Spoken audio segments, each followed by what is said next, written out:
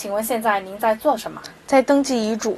这份遗嘱是您的真实意愿吗？是的，我叫王涵，然后零二年出生，现在是大二。嗯，我想要来立遗嘱，是因为最近看到很多新闻，然后就比如说像飞机失事，又包括像有一些熬夜加班导致身体出现状况这种，让我。体会到生命它非常的脆弱。我还没有男朋友，也还没有一个很喜欢的人。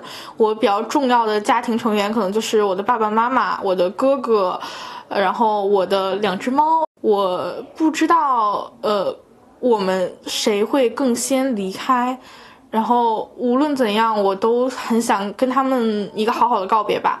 所以我希望能够在二十岁当天来立遗嘱，让我的生日更有仪式感一点。眼前这个头戴贝雷帽、身穿牛仔衣的零零后女孩，有着年轻人特有的青春朝气，时尚的装扮、轻松的神态，更像是赴约朋友下课后的小聚，而非站在中华遗嘱库的门口询问订立遗嘱的事宜。王涵告诉记者，近年来总会在新闻上看到有关订立遗嘱的报道。世事无常，他希望来这里留下自己青春时的影像。然后我最近也是在做视频账号，然后我觉得立遗嘱这也是一个非常有趣的体验，也可能是大家零零后都在关注的这样一个事情。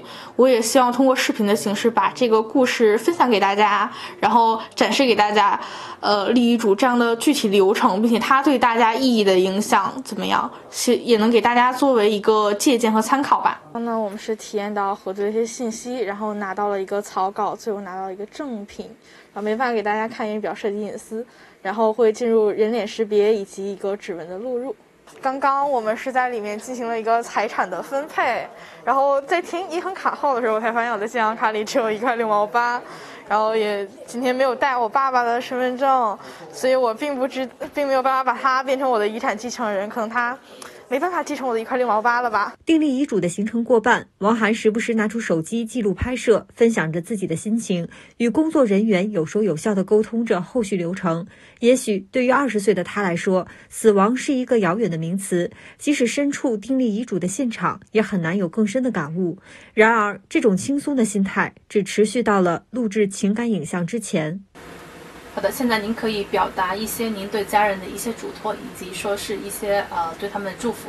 嗯，好，就我我其实除了家人，还有对朋友的一些，先开始对家人吧。遗嘱的财产范围包括银行存款、虚拟财产等，其中情感影像就是虚拟财产的一种。这也是此次王涵来这里体验的重要一环。